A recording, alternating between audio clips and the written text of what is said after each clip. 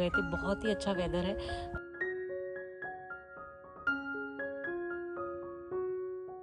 Hello दोस्तों good morning and welcome back to the channel कैसे हैं आप सब लोग? आई होप आप सब अच्छे होंगे मैं हूँ बिलाशा और uh, हम मूव हो गए हैं। आपने छोटे छोटे से रील्स देखे होंगे इंस्टाग्राम पे और शॉर्ट वीडियोस में।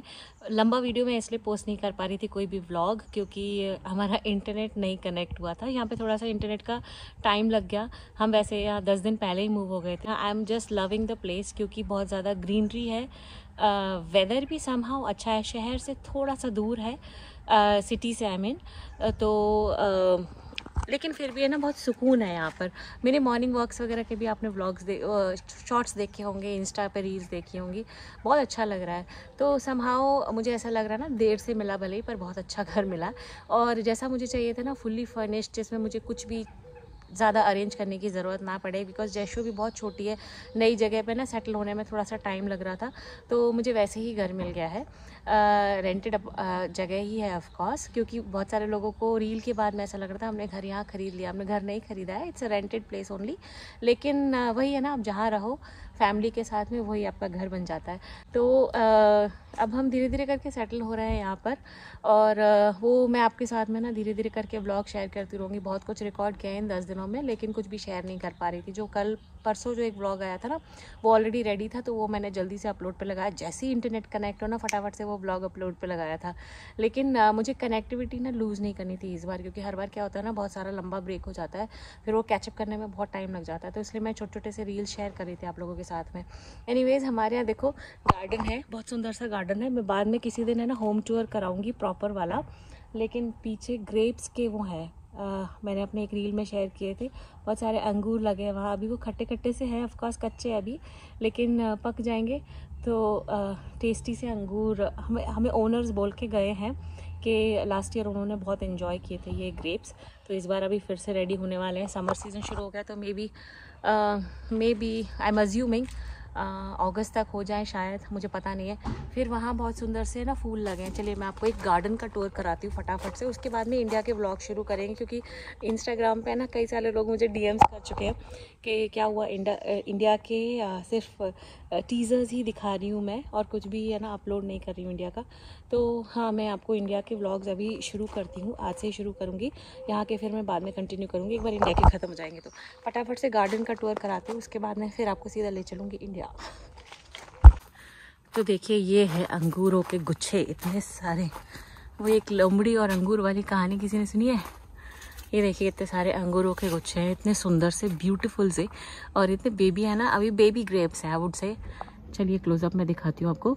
तो संभव इनमें पानी डालने की ज़रूरत नहीं पड़ती, शायद अंदर से ही पानी कुछ तो कनेक्टेड है, क्योंकि हमें इसमें वाटर करने के लिए नहीं बोला है। तो पत्ते ही पता नहीं क्यों पीले पीले हो रहे हैं। अगर आप लोगों को किसी को पता हो अंगूरों में क्या केयर करनी होती है तो मुझे बताना। ऑनलाइन मुझे है ना मैं हर बार भूल जाती हूँ चेक करना। लेकिन ये कितने सुंदर ब्यूटीफुल से ग्रेप्स है। फिर ये यहाँ पे कोई और भी आ, पता नहीं कौन से ट्रीज़ हैं ये अलग अलग लगे हुए हैं। अच्छा गार्डनर आता है। गार्डनर अपने आप ही सब कुछ करते हैं तो हमें ज़्यादा कुछ इसमें करने की ज़रूरत नहीं है। वो प्रोफेशनली करके जाते हैं। फिर यहाँ पर ये सुंदर सुंदर से ये यहाँ पर ना ग्रेवल है ऐसा? तो चुभता है भाई बहुत तो बिना चप्पल के तो काम नहीं चल सकता। आ, फिर ये बस यहाँ पे ना भौरे वगैरह बहुत आते हैं। फिर ये ऐसे सुंदर से फ्लावर्स हैं। पता नहीं कौन से फ्लावर्स हैं यहाँ पे यूरोप में थोड़े डिफरेंट हैं। ये वाले ज़रूर थे यूएस में हमारे बैकयार्ड में। तो दूसरे शेड के थे एकदम ब्राइट ऑरेंज कलर के थे। तो ये वाले मुझे पता है इनकी केयर कैसे होती है। वैसे अभी बारिश भी चल रही है तो ज़्यादा पानी देने की ज़रूरत नहीं पड़ती है। और वो स्प्रिंकलर्स लगे हुए हैं तो अपने आप काम चल जाता है। फिर यहाँ पे ना पर्पल है ये। घास थोड़ी सी गड़बड़ हो रही है। कहीं कहीं पे अपने आप ही फूल आ जाते हैं पता नहीं कौन से फूल हैं ये। आ, ये मुझे लगा था लैवेंडर है पर ये खुशबू में ना लैवेंडर नहीं है दूसरा कोई प्लांट है। आई डोंट नो इसका यहाँ पर टैग लगाया देखना पड़ेगा। फिर ये भी दूसरे कोई छोटे छोटे से फूल हैं सुंदर से। और वो अभी आने वाले हैं वो झड़ते रहते हैं आते रहते हैं। वो वाइट वाइट लीव्स आती रहती है झड़ती रहती है। ओवरऑल बहुत ही सुंदर सा गार्डन है। अच्छा यहाँ पे ना वो स्टैंड क्यों रखा है वो मैं बताऊँगी किसी अपने व्लॉग में। आ, तो दिस इज़ द हाउस ये पीछे से है मतलब बैक बैकयार्ड से मैं दिखा रही हूँ आपको गार्डन एरिया से। आ, बाकी का टूर बाद में कराऊँगी। वो सैंड पिट है आ, बच्चों के खेलने के लिए। तो अने को तो बहुत ही मज़ा आ गया था ये देख ये लंबा सा ना अम्ब्रेला है शेड वो कभी कभी हम कभी अभी तक तो नहीं खोला है पर देखेंगे बाद में। मैंने ने दो दिन बहुत खेला यार। तो जितना टाइम मिलता है, उतना खेल लेता है वो। So this is the place so overall ना, मुझे गार्डन बहुत ही सुंदर लगा, बहुत ही सुंदर एकदम शांत सा है। सुबह यहाँ पे बहुत सुंदर लगती है। सुबह सुबह उठ के मैं आती हूँ तो सबसे पहले ना अपने यहाँ गार्डन का दरवाज़ा खोल के थोड़ा सा बाहर है ना, अच्छी खुली हवा ले लेती हूँ। वॉक करने के लिए भी यहाँ पे बहुत सारी जगह है और यहाँ पे काफ़ी सारे फार्म्स भी हैं। चर्च का घंटा बजा, यानी ढाई बज गए। तो जब आधे घंटे का होता है, तब एक ही बजता है। और जब पूरा फुल मतलब तीन बजे या चार बजे का होता है तो पूरा उतने ही बेल्स बजते हैं। एक, दो, तीन। एक, दो, तीन, चार लाइक दैट तो कबूतर ये घंटा मतलब बहुत सारी चीज़ें ना अच्छी अच्छी सुनाई देती रहती है दिन भर। तो ऐसा अकेलापन तो यहाँ लग ही नहीं सकता। Neighbour neighbourhood also is somehow very good हमारे नेबर्स हमें फ़र्स्ट डे ही इंट्रोड्यूस कराने के लिए आए थे और उसके बाद में आ, कल उन्होंने एक प्लांट दिया मुझे वेलकमिंग प्लांट बोले वेलकमिंग गिफ्ट लेके आए थे हमारे लिए। तो these all small little things ना ऐसा लगता है कि आपके आसपास जो भी लोग हैं बहुत कनेक्टिंग हैं बहुत केयरिंग है तो मुझे यहाँ आके बहुत अच्छा लगा। सो so, uh, बहुत सारे लोगों को ना टेंशन हो रही थी कि घर नहीं मिल रहा है इतने सारे सजेशंस भी दिए थे। बहुत सारी नेदरलैंड्स की साइट्स भी शेयर की थी। वो सब पे हमने ऑलरेडी बहुत सारी प्रोसेसिंग शुरू कर दी थी बट नहीं मिल रहा था। पर अब जो मिला है ना अच्छा मिला है। तो भगवान जी जो करते हैं ना अच्छा करते हैं। थोड़ा देर से हमें सेटल किया बट अच्छे से सेटल किया। तो चलिए अब चलते हैं इंडिया इंडिया के कुछ व्लॉग्स देखते हैं। दो तीन व्लॉग्स इंडिया के रहेंगे। और फिर मैं आपको मिलूँगी ब्रेक के बाद। तो चलिए आपको लेके चलती हूँ यूएस के उन दिनों में जब फेबररी में स्नोफॉल हो रही थी तो जब जैशु उस टाइम पे थी अराउंड ढाई महीने की टू एंड हाफ़ मंथ्स की, Jaishu was born on twenty eight of November तो उस टाइम पे मैं अपने पोस्टमार्टम से बहुत ज़्यादा रिकवर हो रही थी। बहुत सारी चीज़ें मिक्स्ड फीलिंग्स चल रही थी। जाना भी है, सब कुछ पैकिंग भी करना है। आई वॉज़ ऑल्सो रिकवरिंग मेरे स्टिचेस का भी प्रॉब्लम हुआ था। तो हम लोग अभी जैशु को वैक्सीनेशन लगवाने के लिए आए थे। क्योंकि ट्रैवल करने के पहले ना वैक्सीनेशन या सारे जो भी मेडिकल रिकॉर्ड्स हैं, वो सब कुछ लेना बहुत ज़रूरी होता है। हाँ इस पर भी मैं एक ब्लॉग बनाऊँगी। बहुत जल्दी आपके पास में ये ना बेबी के साथ में कैसे ट्रैवल करना है, क्या कुछ आपको याद रखना चाहिए, क्या कुछ प्रिकॉशंस प्रिकॉशंस लेना है, वो सब के लिए मैं एक ब्लॉग बनाऊँगी। तो अभी हम कुछ कुछ वाइंड अप कर रहे हैं। बहुत मुश्किल था उस टाइम पर सब कुछ वाइंड अप करना। बॉक्सेस देख रहे होंगे। बहुत सारी चीज़ें हमने डोनेट की गिव अवे की। कुछ सेल की आ, कुछ हमने यूँ ही दे दी बस ले जाओ। वैसे जब हम घर बनाते हैं ना तो कितना छोटी छोटी चीज़ों से अपने घर को सजाते हैं। और जब मूव होना होता है ना तो बहुत सारी चीज़ें यूँ ही दे देते हैं। तो इस टाइम पर मैंने रिकॉर्ड करने में बहुत इमोशनल भी हो रही थी क्योंकि है ना अपने घर की मुझे याद आ गई जो यूएस में मेरा घर था। तो देखिए हम इतना थके हुए थे उस टाइम पर है ना बहुत सारी चीज़ें एक साथ हो रही थी। जयशु का आज वैक्सीनेशन हुआ है तो husband is trying to engage है क्योंकि उसको थोड़ा सा पेन हो रहा था। वो भी बहुत थके थे क्योंकि ऑफ़िस का काम भी है सब पैकिंग वगैरह भी कर रहे थे, हम वाइंड अप भी कर रहे थे तो उसको हमने रात को थोड़ा सा है ना, अच्छे से मैंने उसको फ़ीड करा के और सुला दिया था क्योंकि हमें नेक्स्ट डे ट्रैवल करना था। अर्ली मॉर्निंग फ़्लाइट थी हमारी और अने भी सो गया है। तो बस अभी दोनों बच्चे सो गए हैं हस्बैंड भी सो गए हैं, मैं ही सिर्फ़ जग रही हूँ क्योंकि मुझे कुछ कुछ पैकिंग और करनी थी और मेरे साथ में जयशु भी जाग रही थी उस टाइम पर सो अर्ली मॉर्निंग हम लोग निकल गए थे, हमारी फ़्लाइट थी। तो हम उसके अकॉर्डिंगली चार घंटे पहले हमें निकलना था ना तो हम और एडवांस में निकल गए थे, क्योंकि बच्चे के संग में ट्रैवल करते ना जब आप बेबी के साथ में तो टाइम लगता है तो ये है जैशु हमारी, और देखिए स्ट्रोलर के साथ में, मेरे साथ में एक बैग भी है दो दो ट्रॉलीज़ हमने ली थी यहाँ पर ट्रॉलीज़ है ना फ्री नहीं होती हैं you have to pay for it लेकिन हमने फिर भी सोचा कि हम दो दो ट्रॉलीज़ ले लेंगे, क्योंकि हमारा सामान ही बहुत सारा था वाइंड अप करके जब आप मूव होते हो ना तो बहुत सारा सामान हो जाता है तो हम पहुँच गए थे फ़्लाइट में, हमने चेक इन कर दिया था। So this was our first flight और हम इतना थके थे ना, हमें ऐसा लग रहा था कि हम कब रिलैक्स होके ना रिफ़्रेश होके बैठे। जैशू सो गई है शी वॉज़ वेरी टायर्ड क्योंकि बहुत सुबह उठ गए थे। मेरी भी हालत देखिए कैसी हो रही है, मैं बहुत थक गई थी उस टाइम पर। अच्छा फ़्लाइट बोर्ड करने के पहले ना मैंने जैशु को अच्छे से चेंज कर दिया था फ़्लाइट के लिए रेडी कर दिया था, क्योंकि फ़्लाइट में बहुत ज़्यादा ठंडा होता है। तो बेबीज़ के लिए इट्स नॉट गुड कि इतना सडन टेम्परेचर उनके लिए चेंज हो जाए। और फ़्लाइट की जो टॉयलेट्स होती है, वो इतनी छोटी होती, इतनी कंजस्टेड होती है ना कि उसमें अच्छे से चेंज करना थोड़ा सा प्रॉब्लमेटिक होता है। तो इसलिए मैंने जैशु को अच्छे से चेंज करके उसको ऐसे लेयर्स वाले कपड़े पहना दिए थे, जिससे अगर उसे बहुत ज़्यादा गर्मी लगे तो मैं सिर्फ़ ऊपर की लेयर निकाल दूँ और नीचे के लेयर रहने दूँ।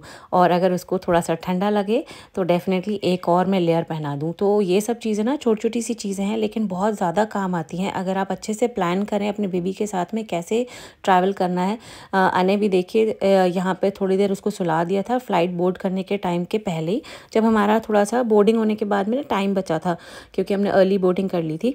और ये देखिए बेसिनेट सीट मिलती है मतलब बेसिनेट मिलता है फॉर द बेबी आपको पहले से जब आप अपनी टिकट बुक करते तो उस टाइम पे ही मेंशन करना होता है। And then they will provide you immediately नहीं आती है तो इनिशियली हमें लगा कि वो दे क्यों नहीं रहे हैं। लेकिन वो थोड़ी देर के बाद में, जब प्रॉपर बोर्ड होने के बाद में और टेक ऑफ़ होने के बाद में जब सब सेटल हो जाते हैं ना, उसके बाद में फिर वो लाके और अपने आप इंस्टॉल कर देते हैं इसको। It is very easy to install लेकिन प्रॉपरली चेक करते हैं वो बहुत सारी चीज़ें सेफ्टी मेजर्स के अकॉर्डिंगली सब कुछ चेक करके एक्सप्लेन करके, उसके बाद में ही जाते देखिए वो कितना प्रेशर देख के हिला डुला कर देख रहे हैं, क्योंकि इसके अंदर बेबी सोने वाला है और यहाँ पर सब कुछ मैंशन था कि आपको क्या क्या सेफ्टी रूल्स देखने हैं, ध्यान में रखने हैं। आने को बहुत ठंडी लग रही थी क्योंकि फ़्लाइट में टेम्परेचर सडनली ड्रॉप हो गया था but he was very happy कि उसको, है ना स्क्रीन मिल गया है। हस्बैंड की हालत देखिए कितने थक गए थे। और जैशु है ना, जस्ट सोए तो हम लोगों ने क्या किया था चांस बाय चांस लिया था। तो थोड़ा आराम मैंने किया, फिर उन्होंने जैशु को देखा, फिर थोड़ा उन्होंने देखा और मैंने आराम किया। आई मीन दोनों चीज़ें मैंने ही बोल दी। तो ये आ गया खाना हमारा। So this was the first meal ये है एप्पल जूस अने ने नहीं पिया तो मुझे पीना पड़ेगा। और ये कुछ तो हमने वेजिटेरियन बुक किया था। आई डोंट रिमेंबर नाउ क्योंकि अभी इतना टाइम हो गया। और बस देखिए बातें करते करते हम पहुँच गए हैं इंडिया। देखने में बड़ा ही आसान लग रहा है, पर सफ़र बहुत ही मुश्किल था। विद द बेबी और जशु एकदम से है ना, इतने सारे ऊपर ग्लास वाली चीज़ें देख कर एकदम से चौक गई थी। क्योंकि यहाँ से जब हम निकल रहे थे तो शेडो आ रही थी तो उसको बार बार ऐसा लग रहा था, पता नहीं क्या मूव हो रहा है। तो देखिए उसके एक्सप्रेशंस कैसे हैं। तो देखने में कितना आसान लग रहा है ना ये ट्रैवल लेकिन उस टाइम पर ट्रैवल करने में हमारी हालत ख़राब हो गई थी। बड़े मुश्किलों से हम आ पाए थे और जयशु भी परेशान हो गई थी थोड़ा सा और अनय भी। लेकिन हाँ हम अच्छे से पहुँच गए थे और अब हमने ये कार सीट को ही फिक्स कर दिया था। हाँ आप कार सीट और स्ट्रोलर लेकर आ सकते हैं विद द बेबी लेकिन आपको अपनी फ़्लाइट से ज़रूर चेक करना पड़ेगा जब भी आप बुकिंग करते हैं। Because every flight has different rules तो हमारी फ़्लाइट में हमने ऑलरेडी कंफर्म कर लिया था।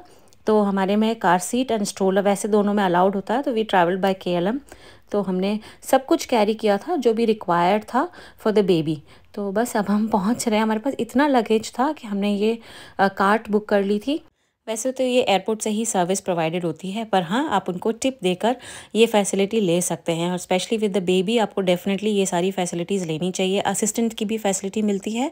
अगर आप अकेले ट्रैवल कर रहे हैं एज अ मॉमी आप असिस्टेंट जाकर बुक कर सकते हैं। और जैसे ही आप बोर्ड करें ना फ़्लाइट वहीं पर आपको बोल देना चाहिए तो आपको असिस्टेंट भी मिल जाएगा। तो बस अब हम लैंड हो गए हैं। तीन साल के बाद में हमने ट्रैवल किया था। हम ट्वेंटी में इंडिया आए थे और उसके बाद में अब आ रहे हैं। तो एक अलग सी फीलिंग होती है। अपने देश आकर ना बहुत अच्छा लगता लगता है। इतने सारे इंडियन चेहरे एक साथ देखकर बहुत अच्छा लगता है। तो जो लोग है ना इंडिया से दूर रहते हैं ना, उनको ये फीलिंग पता होगी। सो so, मेरे ब्रदर इन लॉ आए थे हम लोगों को पिकअप करने के लिए क्योंकि वो दिल्ली में ही है और मेरा भाई आया था जयशु से फ़र्स्ट टाइम मिलने के लिए क्योंकि अभी तक तो जयशु को किसी ने गोदी में ही नहीं लिया था। वो जब यूएस में हुई थी उसके बाद में से वीडियो कॉल्स पे ही बात हुई थी तो ये एक फीलिंग अलग ही होती है। तो मामा भी आ गए और बाकी सारे लोगों ने भी जयशु को अच्छे से गोदी में लेके खिला लिया। और ये देखिए अपनी इंडिया की स्पेशलिटी ना यहीं देखने को मिलती है। तो जब हम लैंड हुए थे ना उसके बाद में जिस मॉर्निंग में हम वहाँ दिल्ली में थे दिल्ली घर में तो वहाँ पर ही किसी की शादी थी। तो ये सारे सब लोग, आंटियाँ सब गाना गा गा कर जा रही हैं। कुछ तो शादी है या कोई फ़ंक्शन है आई डोंट नो लेकिन ये ट्रेडिशन जो होते हैं ना अपने इंडिया में ही होते हैं तो ये सारी चीज़ें ना देखने के लिए, शादियाँ अटेंड करने के लिए तरस जाते हैं सच में। यूएस में रहें या कहीं पे भी रहें, अगर आप अपने देश से दूर रह रहे हैं ना तो ये सारी चीज़ें बहुत मिस होती हैं। कई बार ऐसा होता है ना, इतने स्पेशल ओकेजन्स आप मिस कर देते हैं, क्योंकि आप इतने दूर रहते हैं कि बार बार आना पॉसिबल नहीं होता है। तो देखिए जैशु अभी एक अच्छी सी नींद लेकर उठ गई है रिफ़्रेश हो गई है और अब हम रेडी हो रहे हैं क्योंकि हमें दिल्ली से जाना है आगरा, अपने घर।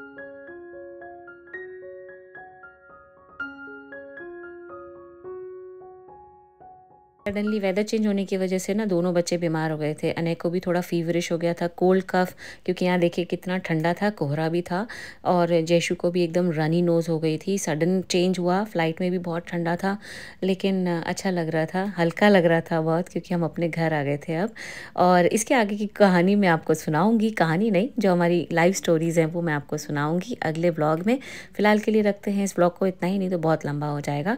अब हम दिल्ली से और आगरा आ गए हैं और आगरा से कहाँ कहाँ जाएँगे, वो सब मैं आपके साथ में ज़रूर शेयर करूँगी। तो चलिए मिलती हूँ आपसे नेक्स्ट व्लॉग में। आई होप आपको ये व्लॉग अच्छा लगा होगा, थोड़ा कनेक्टिंग लगा होगा। अगर लगा है तो सब्सक्राइब करिए बना मत जाना और नोटिफिकेशन आइकन ज़रूर प्रेस कर दीजिए, जिससे आपको सारे नोटिफिकेशंस मिलते रहेंगे। मिलती हूँ आपसे नेक्स्ट व्लॉग में। Till then bye bye take care keep smiling and keep making memories just like me bye bye